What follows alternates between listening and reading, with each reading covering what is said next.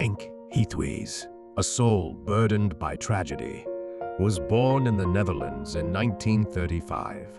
His story is absolutely gruesome and terrifying. We are warning you ahead of time, so watch this video at your own risk. Placed in the foster system, he fell under the care of Catholic priests, a setting that concealed a dark reality. Priests, entrusted with the well-being of vulnerable children, often betrayed that trust through abuse, and there have been many such cases. But Heithuis was not like other victims and decided to go public. Join us as we are about to reveal the saddest story in the history of mankind.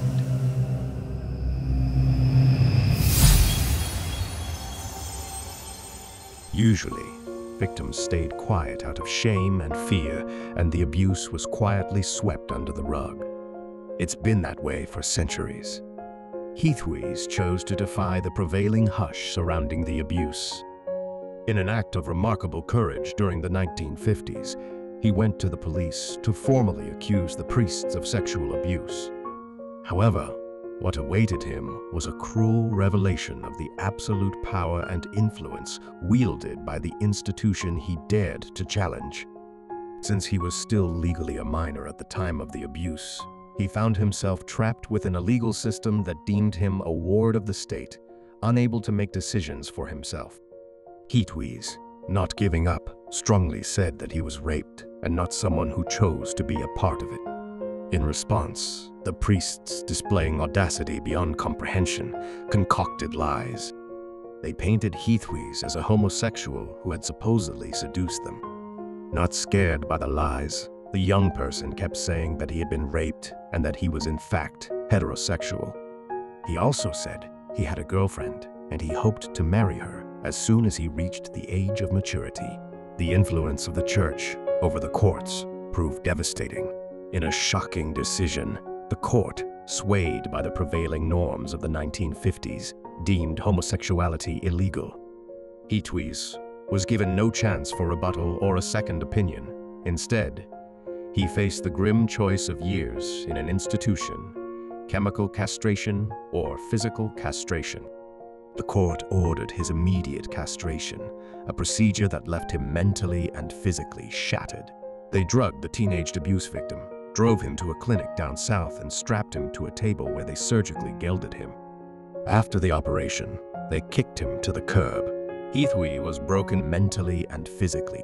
He abandoned his friends and his fiancée and became a sailor, attempting to escape the torment that clung to him.